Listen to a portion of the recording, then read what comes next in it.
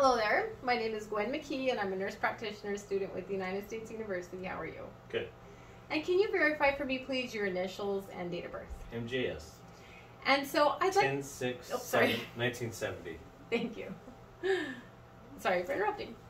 And so I'd like to do an examination of your respiratory system today. But before I begin, uh, I'd like to take a video and upload it to YouTube as unlisted for my instructors to grade. Do I have your permission? Sure. Okay. And so first I'm going to go ahead and clean my hands. And while I do that, are you having any pain today? No, I'm not. Okay, wonderful. And so I'm beginning by inspecting his chest. And I'm looking anteriorly and I'm also looking posteriorly. And I'm noticing that he's not in any respiratory distress, but his respirations are even and unlabored. He has a respiratory rate for the sake of this video of 16. And were this in clinic, I'd have him remove uh, his top, but for, for modesty, he'll leave it on for the video. And then I'm also noticing that he has a symmetric chest rise. He has no deformities. There's no pectus excavatum or pectus um, carinatum. And also, uh, he doesn't have flail chest. And I'm noticing also that his trachea is midline and not deviated, as you might see with a pneumothorax.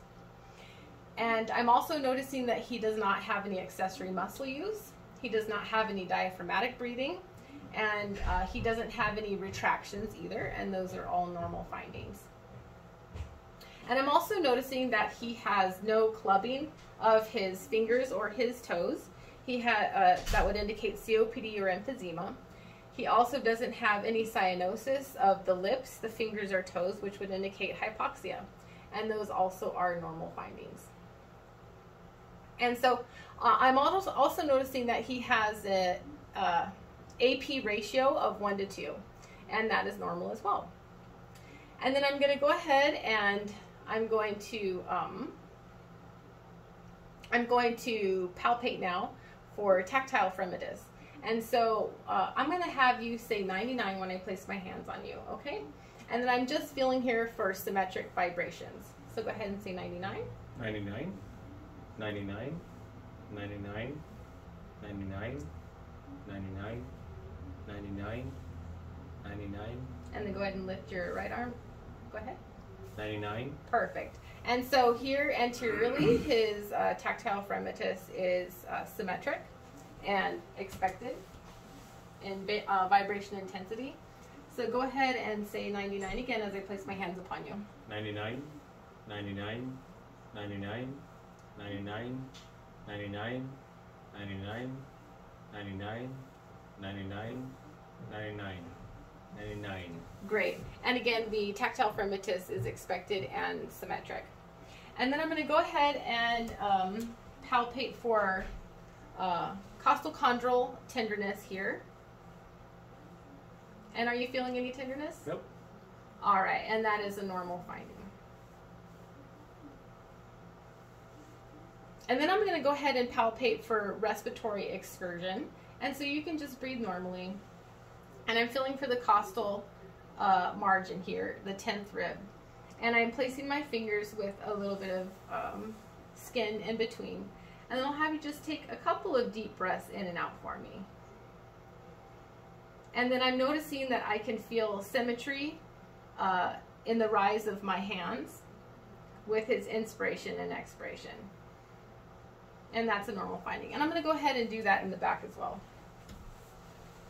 All right, so the costal margin here, level of the 10th rib, fingers together, and go ahead and take a deep breath in. Deep breath in. Great. And out.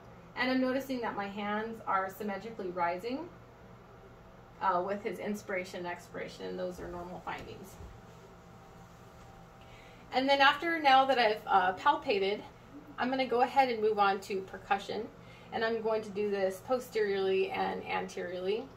And I'm going to do it in a symmetric ladder fashion. And I'm comparing uh, the front to the back and also left to right.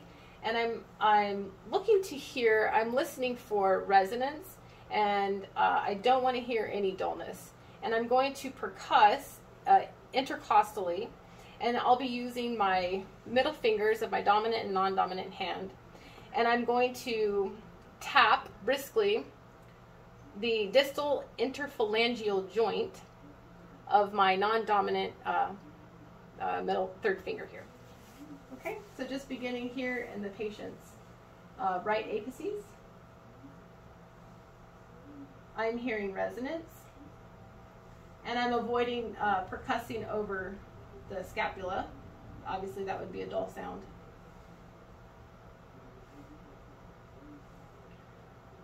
Percussing in all lung fields.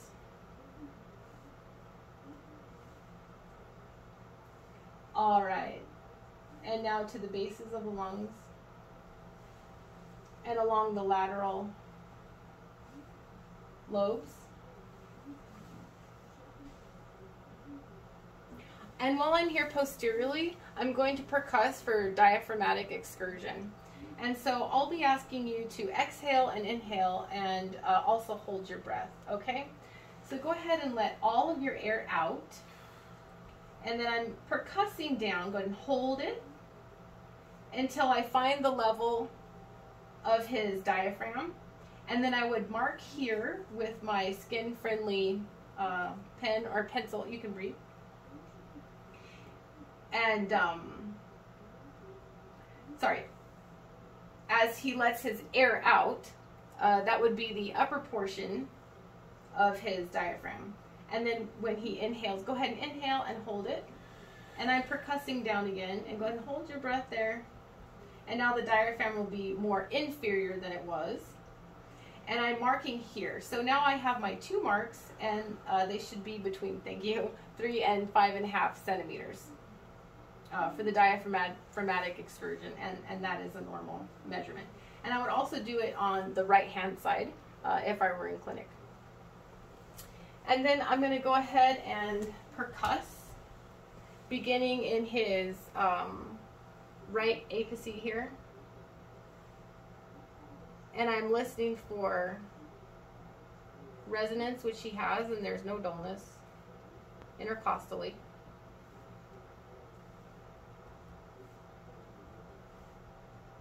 And you can just breathe normally for this.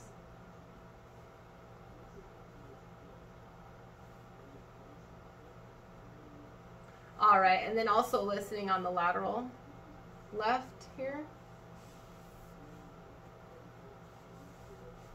And then the lateral right.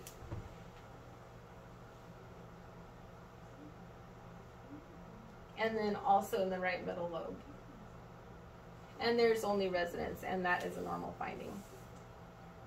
And next I'm going to go ahead and move on to auscultation of the lung fields. And I can begin here anteriorly. And I'm listening for any adventitious sounds. So I'm not wanting to hear any crackles or uh, coarse lung sounds, rhonchi or rales. Crackles fine or coarse. and I also don't want to hear any wheezes. So I'm going to place my stethoscope on you, and then you'll take a deep breath in and deep breath out uh, for each time that I place my stethoscope, okay? So it's going to be a little faster and deeper than normal. And I'm listening with the diaphragm here. Go ahead. Great.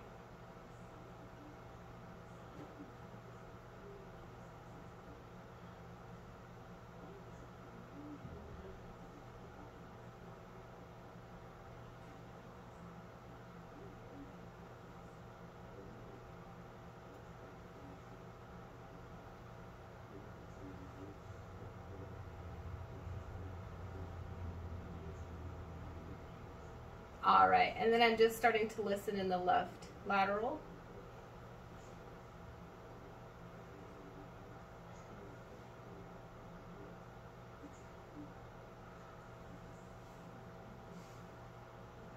How you doing?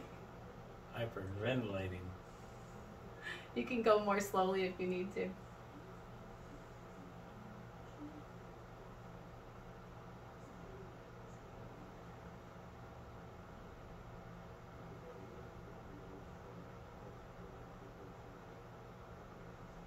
Go ahead and lift your right arm there. I'm going to listen under the axilla and mid-axillary line. Go ahead and take a deep breath.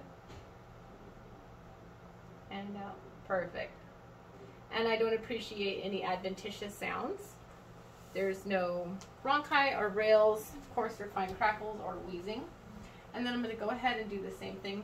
You'll have a lot of deep breathing here. I apologize. Beginning in the right apice, apex. Good. Listening in a ladder-like fashion. And I'm comparing the symmetry here. And all these long sounds are clear.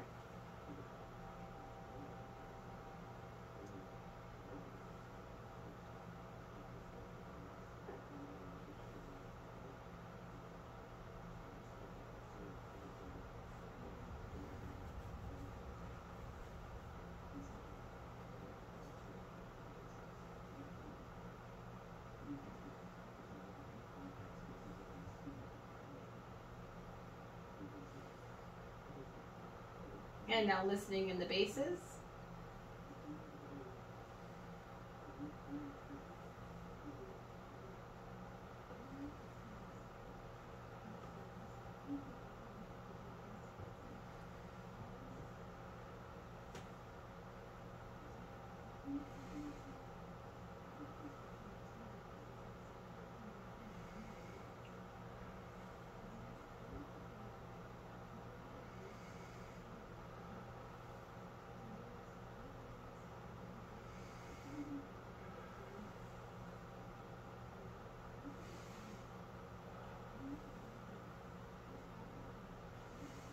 Wonderful. And I do not appreciate any adventitious sounds. So we're going to do that again. And I'm going to have you say 99. And I'm going to listen on the posterior and anterior. And what I'm listening for is a muffled sound as he says 99. I don't want to hear any clear verbalite or phonation of 99 uh, in the stethoscope because that would be an indication of consolidation, um, possibly something like pneumonia. Okay? As I place my stethoscope, you're going to say 99, okay? 99, 99, 99, 99, 99, 99, 99, 99, 99, 99, 99, 99, 99, 99, 99. And again under your arm. 99. Great. So this is all muffled, and this is a normal finding. And again, last time here. 99, 99, 99, 99, 99, 99, 99, 99, 99, 99, 99, 99, 99, 99, 99, 99, And the lateral sides. 99. Okay, wonderful. And so that is negative for uh, bronchophony, and that's a normal finding. So thank you.